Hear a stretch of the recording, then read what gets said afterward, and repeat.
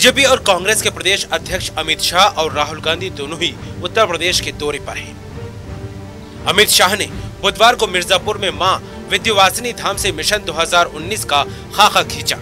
उन्होंने पूर्वी उत्तर प्रदेश के प्रमुख कार्यकर्ताओं प्रदेश के महत्वपूर्ण पदाधिकारियों और कुछ मंत्रियों के साथ बैठक कर दो में भी दो का करिश्मा दोहराने का लक्ष्य दिया साथ ही चुनाव में पचास प्रतिशत से ज्यादा मत भाजपा के खाते में लाने की रणनीति भी समझाई तो वही कांग्रेस के राष्ट्रीय अध्यक्ष राहुल गांधी ने अपने दो दिवसीय अमेठी दौरे से मिशन यूपी की शुरुआत की है इस दौरान राहुल ने किसानों के मुद्दे पर बीजेपी को घेरने के अलावा स्थानीय कार्यकर्ताओं से मिलकर आम चुनाव की तैयारियों पर चर्चा की स्थिति साफ है दोनों ही राजनीतिक दलों के लिए उत्तर प्रदेश खास है पिछले आम चुनाव में जिस तरह ऐसी बीजेपी गठबंधन को 80 सीटों में से तिहत्तर सीटें मिली थी और कांग्रेस में सिर्फ सोनिया गांधी और राहुल गांधी ही अपनी सीट बचा पाए थे ऐसे में कांग्रेस के लिए मिशन 2019 करो या मरो की स्थिति में है लेकिन 2014 में एनडीए को जिस तरह से लोगों का समर्थन मिला था अब उसमें खलल पड़ने लगा है एक तरफ योगी आदित्यनाथ की खाली सीट और प्रदेश में डिप्टी सीएम केशव प्रसाद मौर्य की खाली सीट पर बीजेपी को हाथ धोना पड़ा अब प्रदेश में बीजेपी को कांग्रेस के अलावा बसपा सपा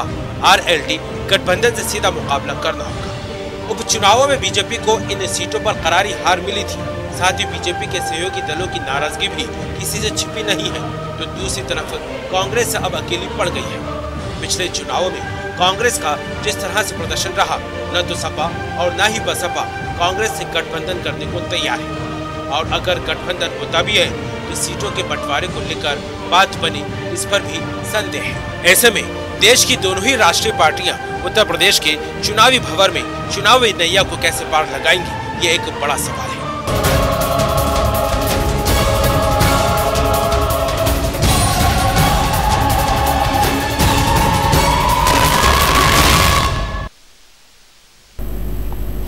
नमस्कार आदाब आप देख रहे हैं बात मुद्दे की मैं हूं रिजवान अहमद सिद्दीकी राजनीति के लिहाज से सबसे महत्वपूर्ण माने जाने वाले उत्तर प्रदेश में दो सबसे बड़ी पार्टियों के दिग्गज मौजूद हैं कांग्रेस अध्यक्ष राहुल गांधी अमेठी में 2019 के लिए जमीनी हालात को समझने की कोशिश कर रहे हैं तो बीजेपी के राष्ट्रीय अध्यक्ष अमित शाह ने मिर्ज़ापुर में विंध्यवासिनी देवी का आशीर्वाद लेकर चुनावी जमावट शुरू कर दी है दोनों पार्टियों के लिए यूपी बेहद महत्वपूर्ण है कांग्रेस को यूपी में मायावती और सपा का साथ मिलेगा या नहीं यह स्थिति अभी साफ नहीं है और बीजेपी के घटक दल समय समय पर उसे झटका देते रहते हैं राजभर गाहे बगाहे बीजेपी के खिलाफ बोलकर चर्चा में रहते हैं अब अपना दल की अनुप्रिया पटेल भी कुछ इसी तरह से संकेत देने लगी हैं जी हाँ यही है हमारा आज का विशेष मिशन 19 इस विषय में बात करने के लिए हमारे साथ हमारे स्टूडियो में मौजूद हैं कांग्रेस पार्टी के नेता दुर्गेश शर्मा महेश शर्मा हैं भारतीय जनता पार्टी से कल्पना शर्मा हैं वरिष्ठ पत्रकार यश यादव हैं हमारे साथ समाजवादी पार्टी से और उत्तर प्रदेश से हमारे पॉलिटिकल एडिटर आरसी भट्ट जुड़े हुए हैं आप सभी का बहुत बहुत स्वागत है आरसी भट्ट आपसे ही शुरुआत करते हैं दोनों दिग्गजों के जो है अभी फिलहाल उत्तर प्रदेश में डेरा है धीरे धीरे ये ध्यान उनका उत्तर प्रदेश की ओर बढ़ता जाएगा और उत्तर प्रदेश को कहा यह जाता है की सत्ता की जो सीढ़ी है वो उत्तर प्रदेश से होकर गुजरती है तो कैसे देख रहे हैं अब आप दोनों बड़े दलों के राजनीतिक भविष्य की रणनीतियों को देखिए 2019 में लोकसभा के आम चुनाव होने हैं और उत्तर प्रदेश कहीं ना कहीं एक बड़ा राज्य है और जिस तरह से 80 लोकसभा सीट के साथ उत्तर प्रदेश में जो सांसद चुन के आते हैं उसको लेकर कहीं न कहीं लगातार सभी दलों की ये चिंता रहती है कि ज्यादा से ज्यादा उनके मेंबर ऑफ पार्लियामेंट चुन के आए और प्रदेश में भारतीय जनता पार्टी की सरकार है केंद्र में एनडीए की सरकार है और खासतौर पर प्रधानमंत्री नरेंद्र मोदी बनारस से राजनाथ सिंह जो केंद्रीय गृह मंत्री है वो लखनऊ से और भारतीय जनता पार्टी के तमाम जो दिग्गज नेता हैं वो उत्तर प्रदेश से आते हैं और उत्तर प्रदेश चूंकि एक बड़ा प्रदेश होने के नाते ज्यादा लोकसभा सीटों होने के नाते सब पर केंद्रित रहता है और सीधे तौर पर इसको राजनीतिक भाषा में अगर कहा जाए कि उत्तर प्रदेश से ही केंद्र की जो है कुर्सी वो मिलती है तो बिल्कुल ये साफ तौर पर सही होगा और उसको लेकर जिस तरह से दो दिनों से लगातार भारतीय जनता पार्टी के राष्ट्रीय अध्यक्ष अमित शाह और अब आज से कहीं ना कहीं कांग्रेस पार्टी के राष्ट्रीय अध्यक्ष राहुल गांधी ये दोनों लोग जो है उत्तर प्रदेश को खासतौर पर मथने की कोशिश कर रहे हैं और जिस तरह से भारतीय जनता पार्टी के राष्ट्रीय अध्यक्ष अमित शाह कल आ, वो मिर्जापुर में रहे आज वो आगरा में है यानी कि पूरब से पश्चिम तक कहीं ना कहीं वो पूरे प्रदेश को मथने की कोशिश कर रहे हैं तमाम आईटी सेल के जो दो हजार से ज्यादा पदाधिकारी थे उनसे उनको संबोधित किया है और खासतौर पर उत्तर प्रदेश में जो पटेल समाज का वोट बैंक है कुर्मी वोट बैंक उसके साथ जो है अपना दल का जिस तरह से उनका टाइप है उसको भी साधने की उन्होंने बड़ी कोशिश की है और सीधे तौर पर अनुप्रिया पटेल के साथ उन्होंने मिर्जापुर में एक मैसेज देने की भी कोशिश की है कि हम साथ साथ हैं और आगे भी रहेंगे यानी कि 2019 में भी जो लोकसभा के चुनाव होंगे उसमें हमारा गठबंधन रहेगा और उसके साथ साथ सबसे बड़ी बात जो उन्होंने चौहत्तर का नारा दिया है यानी कि उत्तर प्रदेश में पिछले लोकसभा सीटों की अगर देखा जाए 2014 में तो तिहत्तर सीटें सहयोगी दलों के साथ उनको मिली थी लेकिन इस बार उन्होंने चौहत्तर का नारा दिया है यानी कि 80 सीटों में से चौहत्तर सीटें भारतीय जनता पार्टी को जिताने का उन्होंने कार्यकर्ताओं को वो मंत्र देकर गए हैं और आज जिस तरह से आगरा में उन्होंने लगातार खासतौर पे कांग्रेस अध्यक्ष राहुल गांधी पर उत्तर प्रदेश के समाजवादी पार्टी के खासतौर पे नेता और पूर्व मुख्यमंत्री अखिलेश यादव पर जो समाजवादी पार्टी के राष्ट्रीय अध्यक्ष भी हैं इन पर जो करारा प्रहार किया है उसको भी अगर देखा जाए तो कहीं न कहीं उत्तर प्रदेश में अब ये मान लिया जा रहा है कि कहीं न कहीं वो चुनावी संदेश लेना शुरू कर दिए हैं अपने कार्यकर्ताओं को सावधान कर दिए आपसे बट आपको आपको मैं रोकूंगा आपको रोकूंगा फिर आपके पास आएंगे एक बार चर्चा करेंगे आप बने रहिए हमारे साथ कैसे देख रहे हैं दुर्गेश शर्मा इसलिए कि समाजवादी आपके साथ होगी कि नहीं होगी बीएसपी आपके बारे में क्या सोचती है बहुत ढेर सारे सवाल हैं रिजवान भाई आने वाले समय में देश में जो चुनाव होने वाले में बहुत सारी परिस्थितियां बदलेंगी देश के अंदर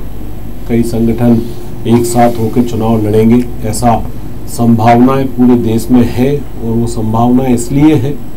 क्योंकि देश को जिस परिस्थितियों में भारतीय जनता पार्टी ने लाके खड़ा कर दिया है वह देश की जो सोच या जो देश का जो भावनाएं है उसके बिल्कुल विपरीत है सारी जो दूसरे दल हैं वो ये बात जानते हैं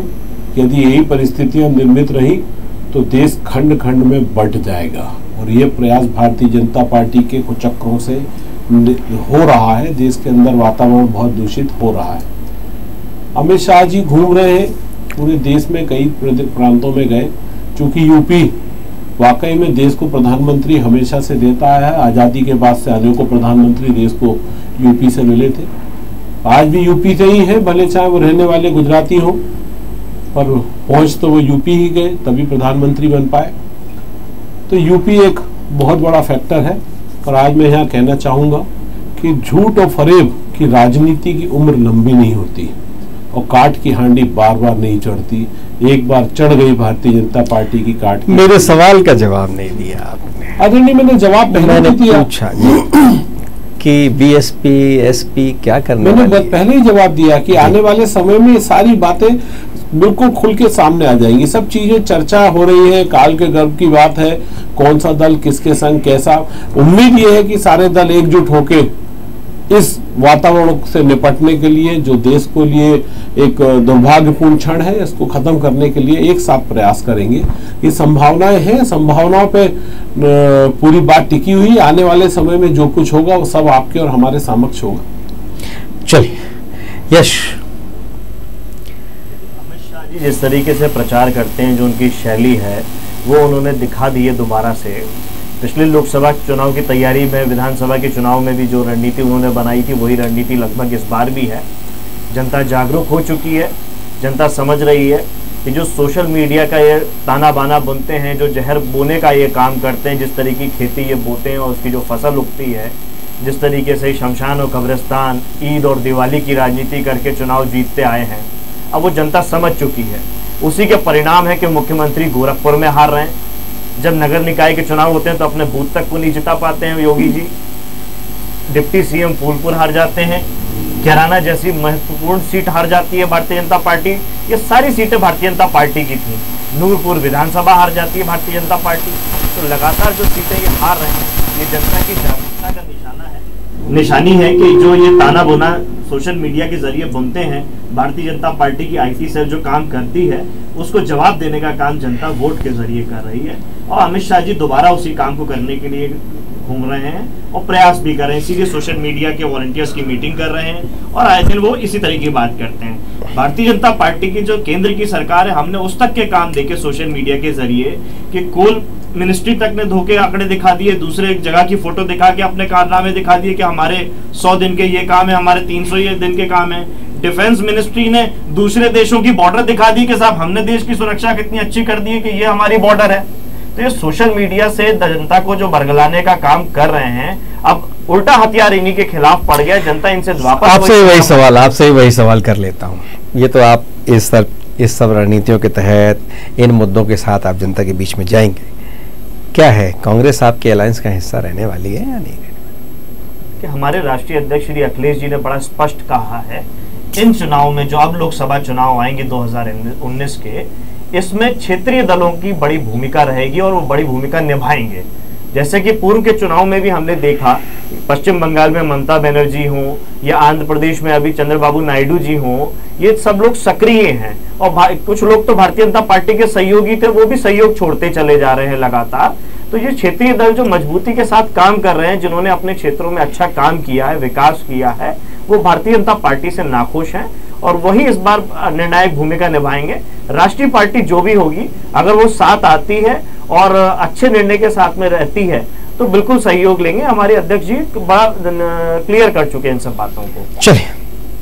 महेश बहुत ढेर सारे आप पर इल्जाम भी हैं और चुनौती आपके सामने बड़ी है साख जो है प्रधानमंत्री नरेंद्र मोदी की साख और अमित शाह की संगठन क्षमता दोनों आप कसौटी पर हो निश्चित तौर पे भारतीय जनता पार्टी की केंद्र की सरकार नरेंद्र मोदी जी के नेतृत्व में जिस प्रकार से जनता के लिए काम कर रही है प्रतिबद्ध होकर उसी के आधार पे हम अगले चुनाव में लोकसभा के चुनाव में भी जाएंगे आप देखिए कल ही एक ऐतिहासिक निर्णय किसानों के पक्ष में किया गया है लगातार जनता के हित में किस प्रकार से निर्णय किए जा सके इसी को लेकर भारतीय जनता पार्टी काम करती है जहां तक बात माननीय राष्ट्रीय अध्यक्ष अमित शाह जी के उत्तर प्रदेश दौरे की है तो माननीय राष्ट्रीय अध्यक्ष जी लगातार प्रवास करते हैं कार्यकर्ता से सीधा और सतत संवाद करने में विश्वास करते हैं कहीं ना कहीं आप देखिए मध्य प्रदेश में भी उन्होंने तीन दिन का प्रवास किया अभी कर्नाटक के चुनाव के दौरान उन्होंने वहाँ प्रवास किया त्रिपुरा जहाँ भी देश में कहीं भी कोई संगठन को विस्तार देने की बात होती है माननीय राष्ट्रीय शक्ति अध्यक्ष अपने कार्यकर्ताओं को संवाद के माध्यम से न सिर्फ मार्गदर्शन देते हैं किस ढंग से संगठन का और विस्तार हो जनता के बीच हम किस ढंग से जाके अपनी बात को पूरी दृढ़ता से रखें जनता को मध्य प्रदेश हो चाहे उत्तर प्रदेश हो चाहे केंद्र की सरकार की योजनाएं हों उससे कैसे लाभ मिले उस तक कैसे पहुंचा जाए जिस जिस प्रकार की जन कल्याण की योजनाएं संचालित हो रही हैं चाहे वो केंद्र की हो चाहे वो उत्तर प्रदेश सरकार की हो चाहे वो अन्य सरकारों की हो तो जनता को किस ढंग से उस योजना का लाभ मिले इसके लिए कार्यकर्ता कैसे द्वार द्वार पहुंचे इस, इसकी पूरी रचना जो है वो कार्यकर्ताओं तक पहुंचाने का काम माननीय अमित शाह जी अपने प्रवास के दौरान करते हैं सहयोगी नाखुश हैं राजभर तो बहुत कुछ कहते रहते हैं अभी तो कुछ दिन से अपना दल भी रुष्ट रुष्ट सा नज़र आता है और इस बार कार्यक्रम के दौरान माननीय राष्ट्रीय अध्यक्ष जी, जी चाहे वो हमारी सहयोगी शिवसेना हो चाहे वो हमारे अन्य सहयोगी हो सबसे संवाद करने की ए, के लिए पहुंचे उन्होंने वहाँ उनसे संवाद किया और मुझे नहीं लगता चुनाव आने दीजिए चुनाव आते आते तक हमारे सारे सहयोगी निश्चित तौर पर भारतीय जनता पार्टी के साथ जिस प्रकार से पहले थे उसी प्रकार से रहेंगे और उसी तरीके से हम चुनाव लड़ेंगे और जहाँ तक बात मेरे मित्र कर रहे थे कि उत्तर प्रदेश को सात पसंद है तो वो तो सात सीटें दे के उन्होंने सात खत्म कर दिया था इसके बाद जो स्थिति बनी कि उत्तर प्रदेश में आज इनका अगर ये अवसरवादी वहाँ ठगबंधन बन भी जाता है तो सीटों की जब बंदर होगी तो आप निश्चित तौर पर देखिएगा कि इस गठबंधन को तार तार होने में मुझे लगता है कि 10 मिनट का भी समय नहीं लगेगा कल्पना शर्मा सबको सुना आपने क्या कहेंगे देखिए कांग्रेस हो बसा हो बसपा हो सपा हो मरता क्या ना करता की स्थिति में इस समय ये लोग हैं और वो वक्त की मांग भी है ज़रूरत है कि इस समय एकजुट होकर काम किया जाए क्योंकि ये तो सभी जानते हैं कि कांग्रेस में ना तो राहुल गांधी खुद में इतने कैपेबल हैं कि वो अकेले ही कुछ कर पाए ना बसा बसपा ना सपा तो इनको एकजुट होना ही पड़ेगा और अमित शाह जी की बात जहाँ भी चुनाव होते हैं वो साल डेढ़ साल पहले अपना डेरा वहाँ डालना स्टार्ट कर देते हैं और उनकी एक भूमिका जिस तरह से वो डैमेज कंट्रोल का जो काम करते हैं वो वाकई में सराहनीय कदम उनका रहता है क्योंकि वो एक एक कार्यकर्ता से मिल के जो भी वहाँ की समस्याएं हैं अभी आगरा में जिस तरह से वो जा रहे हैं जो भी चीज़ें उनकी आगरा हो अलीगढ़ हो सब जगह जहाँ जहाँ उनको अपनी स्थिति कमज़ोर नज़र आ रही है वो उस जगह पर जाकर पहले से ही अपनी एक वहाँ पे विधायक सांसद एक दर्जन से ज़्यादा सांसद और विधायकों को वहाँ पर लगा दिया गया तो वो अपनी स्ट्रेटेजी वाइज काम उन्होंने करना प्रारंभ कर दिया है और उसका रिजल्ट भी उनको मिल ही जाता है लेकिन हाँ इस बार स्थिति थोड़ा विपरीत रहने वाली है क्योंकि चाहे किसान हो चाहे कोई अन्य भी जितने भी वो हैं उसमें सब में ही व्यापारी वर्ग सब वर्ग थोड़ा कहीं ना कहीं नाखुश हैं तो उसको देखते हुए स्टार्टिंग अच्छी उन्होंने अपनी कल से जो की है वो स्टार्टिंग उन्होंने अच्छी कर दी है और उसका रिजल्ट कांग्रेस के लिए और बसपा और इन सब के लिए चुनौती भरा माहौल है कांटो भरा है हाँ छीका गिरने की संभावना के लिए बैठे होंगे कि छीका गिरेगा लेकिन प्रयास जितना क्योंकि मैं यूपी में खुद भी घूम के आई हूँ मैंने देखा वहाँ कांग्रेस या अपने जो अन्य संगठन जो घटक दल हैं वे उतने सक्रिय नज़र नहीं आए मुझे बात ज़रूर की जा रही है कि जो हम देख रहे हैं कि आज राहुल जी अब गए हैं स्टार्ट हुआ है लेकिन अभी ज़मीनी स्तर पर लोगों के बीच में जाना प्रारंभ नहीं किया गया इन किसी पार्टी की तरफ से मैंने जितना भी देखा लेकिन हाँ संघ अपनी भूमिका वहाँ संगठन के थ्रू जो डोर टू डोर उनका जो कैंपेनिंग जो स्टार्ट होती है वो अब से दो साल पहले स्टार्ट हो गई थी वो चुनाव के तुरंत बाद लग जाते हैं और अपने काम अपने जो भी उन्होंने किया वो बताना स्टार्ट करते हैं बिल्कुल ये चीज़ें बिल्कुल आरसी भट्ट क्या देख रहे हैं आप कितनी बड़ी चुनौती के तौर पर इसको देखते हैं आप कैसे देखते हैं समाजवादी बहुजन समाज पार्टी कांग्रेस और अन्य जो दल हैं ये सारे अपन लोक दल ये सारे जो दल हैं इनका आप गठबंधन उसको कैसे देखते हैं और वहीं भारतीय जनता पार्टी का जो गठबंधन है उसको भी आप कैसे देख रहे हैं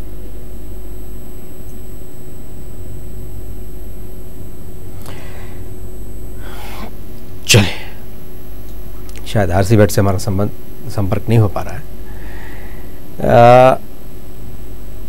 दुर्गेश शर्मा रिजवान जी जी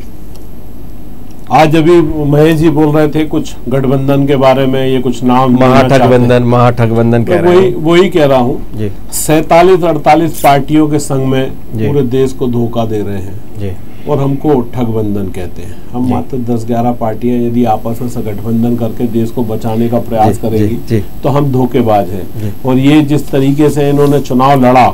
चुनाव लड़ने के साथ में पंद्रह लाख का वादा बेरोजगारी दूर करने का वादा सुरक्षा का वादा सीमा सुरक्षा की बातें जो भी बात इन्होंने करी थी सब चीज़ें अब ये क्या कश्मीर में जो इन्होंने गठबंधन किया था कौन सा गठबंधन अरे तोड़ तो दिया उन्होंने अब आज तोड़ आज क्यों तोड़ दिया इसलिए तोड़ दिया कि लोकसभा चुनाव आ रहे हैं उसका जवाब नहीं दे पाकिस्तान का महेश जी महेश आप महेश आप अपने समय पर बोलिए आप महेश आप अपने समय पर बोलिएगा आपको आखिरी में मौका दूंगा फिर आप टोका टाकी करेंगे तो दूसरे लोग आपके समय में करेंगे जी आदरणीय जब वहाँ गठबंधन किया जी हमारी सेना के संग मारपीट हुई सैनिकों को अपमानित किया सारे कर्म वहां पर ऐसे हुए जो जिसमें देश शर्मसार हुआ पाकिस्तान के झंडे फेरे अब इसका जवाब देने का वक्त आ गया है जनता उसका सवाल करने लगी है देश उसके बारे में पूछने लगा है चुनाव सामने आ गए तो भाग लिए उसके साथ छोड़ के देश में और बहुत सारे ऐसे काम है इन्होंने जो किए तो कहाँ कहाँ के भागेंगे आज आज जो है मौका देश के अंदर पूरा पेट्रोल और डीजल के नाम पे पूरा लूट मचा रखी है किसान आत्महत्या कर रहा है लोगों से वादे बहुत सारे करे थे अभी इन्होंने बोला कि साहब हम देश के अंदर किसानों को जो राशि दे रहे हैं उसमें धान के फसल में हम दो सौ रुपए अरे एहसान कर रहे हो वादा किया था दो सौ पिचहत्तर दो सौ बाईस सौ सतहत्तर रुपए देने का कि हम डेढ़ गुना देंगे सत्रह सौ रुपए दे दिया कोई एहसान कर रहे हैं आप किसी को दो सौ रुपए दे के आप यहां पर बातें कर रहे हैं कि साहब देश के युवाओं को रोजगार देंगे प्रधानमंत्री मोदी कहते हैं पकौड़े बिचवाएंगे आज उनके मंत्री जी कहते हैं अचार की दुकान लगा लो ये ये पे रोजगार देने का वादा किया था पढ़े लिख के आदमी पकौड़े की दुकान लगाएगा अचार की दुकान लगाएगा जब इन सवाल बातों का जवाब जवाब सवाल आएगा तो आप देश के अंदर हिंदू मुस्लिम और दलित और सवर्णों की लड़ाई शुरू करा देंगे देश के अंदर जहां देखो वही वातावरण दूषित कर देंगे आप कश्मीर के अंदर पत्थरबाजों को समर्थन देते हैं उनकी ऊपर से केस हटाते हैं और उसके बाद में उनको छुट्टा छोड़ के कहते हैं अब हम उनको गोलियों से मार देंगे भैया वो जेल के अंदर बंद थे तो वही रहने देना था अब आप समाज में उनको छुट्टा छोड़ के आप कहते हो कि अब हम गोली मार देंगे ये कैसी राजनीति ये किस तरफ ले जाना चाह रहे हैं देश को कब तक धोखा देंगे और धोखेबाज लोग आज हमारे ऊपर ठग और दुनिया की बातें करते हैं हमने देश को आज तक उस स्थिति में लाके खड़ा किया है कि आज ये समाज में और देश में कहीं खड़े होकर बात करने के लायक है यदि इनके पास में देश हो गया होता तो आज शायद हम चाहे बंगाल हो या वर्मा हो उससे बुरी हालत हालात में होते आज हम प्रगति के पथ पे नहीं बढ़ चुके होते चलिए यश जल्दी या रश आपसे पहले मैं आरसी भट्ट से पूछ लेता हूँ एक बार आरसी भट्ट आपको क्या लगता है जो विपक्षी गठबंधन है वो और जो बीजेपी का गठबंधन है वो आप कैसा मुकाबला देखते हैं आने वाले वक्त में देखिए कड़ा संघर्ष तो निश्चित रूप से रहेगा क्योंकि जिस तरह से उत्तर प्रदेश में जो और देश में जो बाई इलेक्शन हुए हैं उसमें भारतीय जनता पार्टी को करारी हार हुई है और कहीं ना कहीं जिस तरह से बाई इलेक्शन में सभी दल एकजुट हुए हैं अगर हम उत्तर प्रदेश के परिदृश्य में जाएं तो यहाँ समाजवादी पार्टी बहुजन समाज पार्टी राष्ट्रीय लोकदल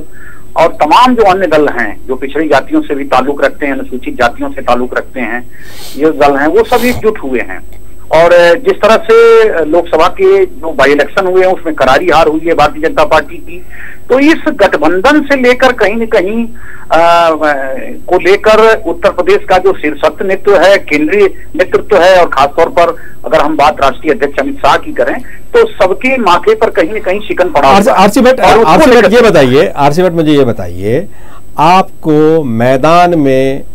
किस पार्टी के लोग अधिक सक्रिय नजर आ रहे हैं आपको क्या लग रहा है कि कौन सी पार्टी के लोग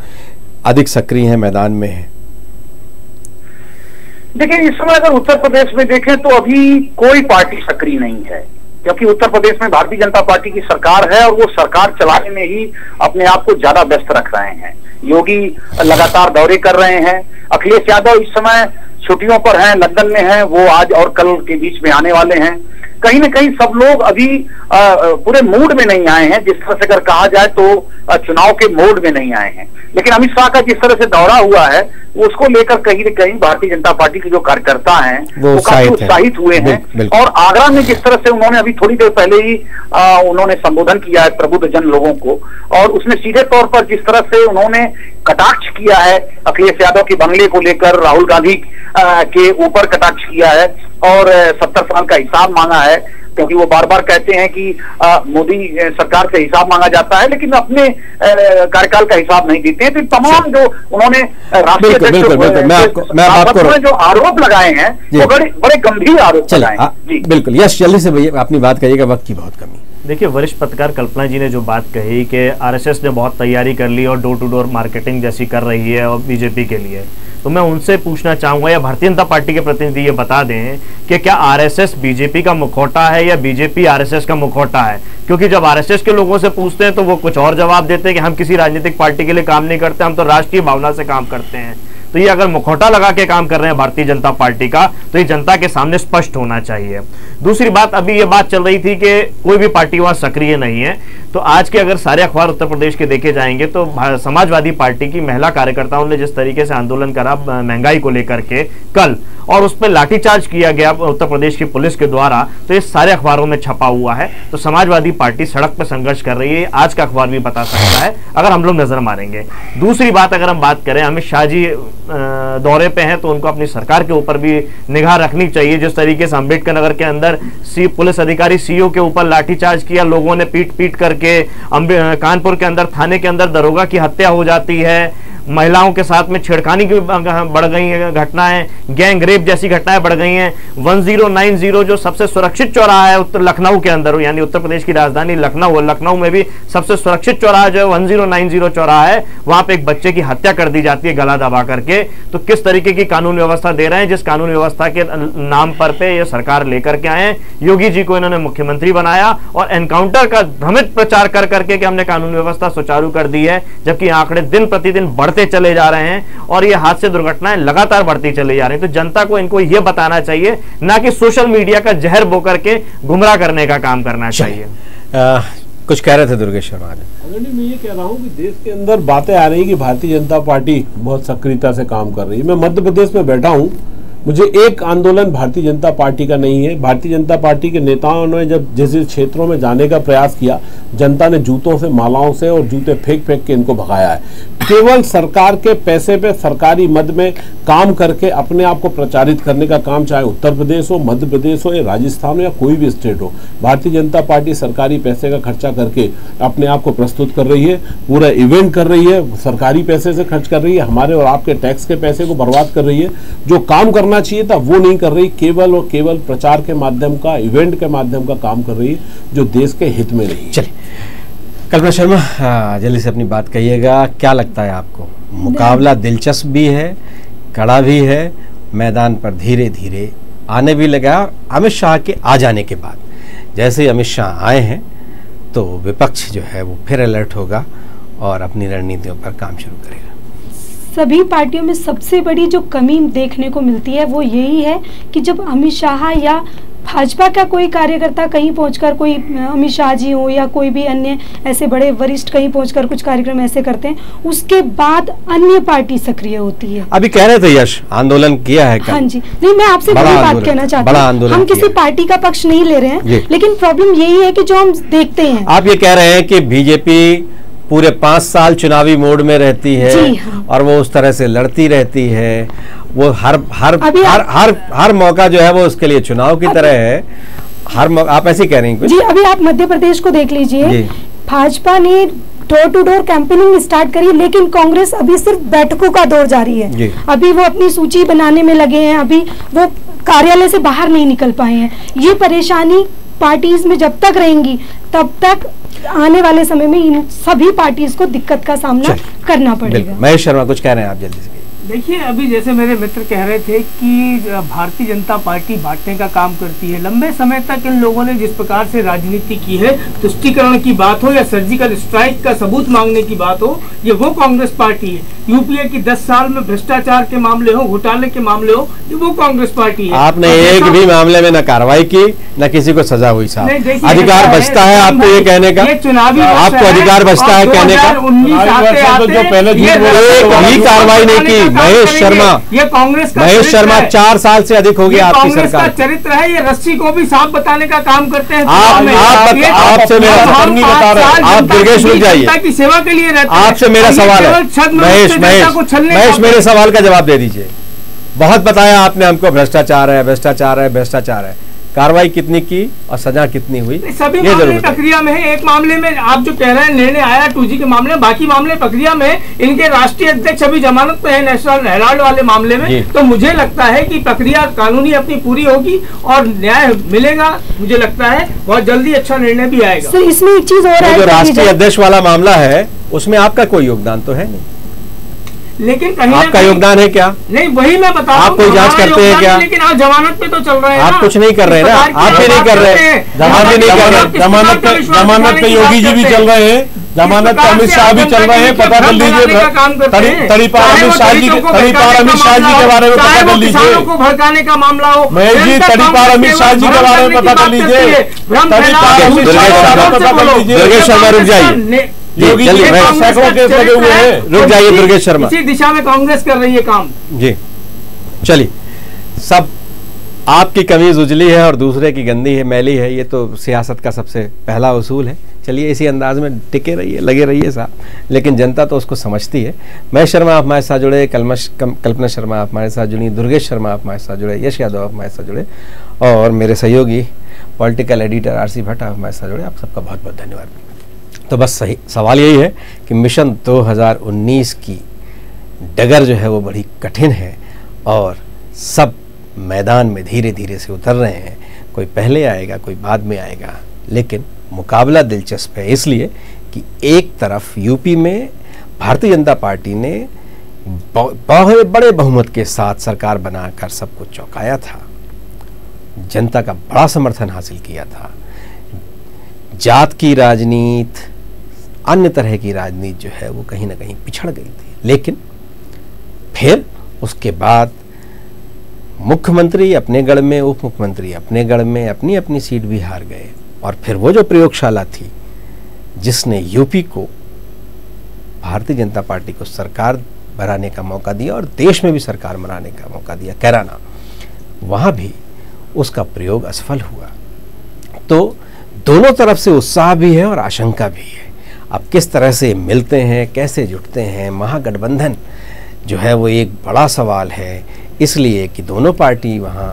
अपने अपने गठबंधन के साथ ताकत के साथ मैदान में उतरना चाहती हैं अब देखते हैं आने वाले दिनों में किस तरह का माहौल होता है लेकिन दिल्ली अभी सबके लिए दूर है हमारे इस कार्यक्रम में बस इतना ही खबरों का सिलसिला जारी रहेगा हम कल फिर मिलेंगे एक नए मुद्दे के साथ तब तक मुझे दीजिए